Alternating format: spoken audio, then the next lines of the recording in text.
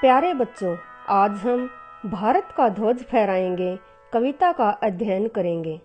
कविता के कवि सोहन लाल द्विवेदी हैं। बच्चों, इस कविता में छोटे बच्चों की अभिलाषाएँ, उनका दृढ़ विश्वास, साहस और निडरता के बारे में बताया है कि वे देश के लिए कुछ भी करने के लिए तैयार हैं। आओ, अब हम कविता पढ़ते हैं।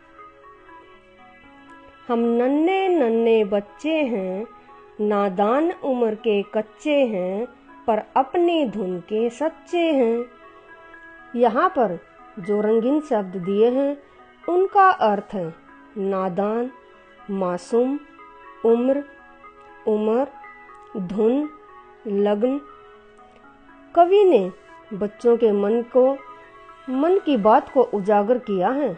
वे कहते हैं हम छोटे छोटे मासूम बच्चे हैं।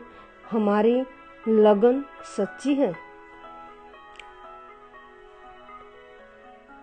जननी की जय जय गाएँगे, भारत का ध्वज फहराएँगे।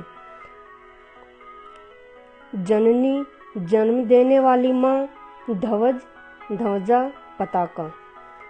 जिसने हमें जन्म दिया है, जो हमारी है, उसका गुणगान गाएँगे।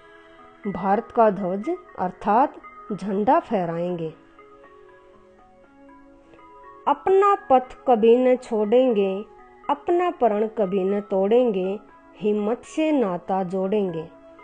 पथ, रास्ता या मार्ग, प्रण, प्रतिज्ञा, वायदा, हिम्मत, साहस व हौसला।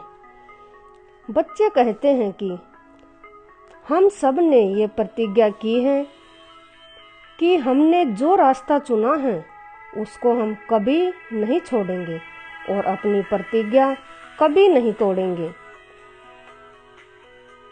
हम हिमगिरी पर चढ़ जाएँगे, भारत का ध्वज फहराएँगे।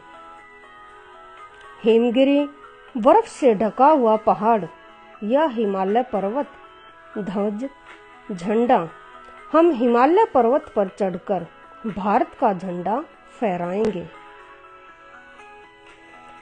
हम भय से कभी न डोलेंगे, अपनी ताकत को तोलेंगे, साहस की बोली बोलेंगे।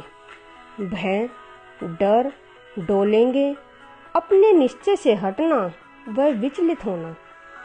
हम डर के आगे कभी भी अपने आप को पीछे नहीं करेंगे। हम सबको मिलकर आगे आना है और हम आगे आएँगे और अपना साहस दिखाएँगे। पग आगे सदा बढ़ाएँगे, भारत का ध्वज फहराएँगे। पग, कदम, सदा, हमेशा।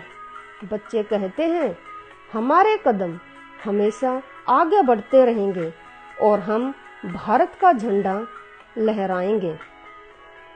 प्यारे बच्चों, इस कविता से हमें यह शिक्षा मिलती है, अगर हमारे हौसले बुलंद हैं तो हम हर मुसीबत का सामना कर सकते हैं। धन्यवाद।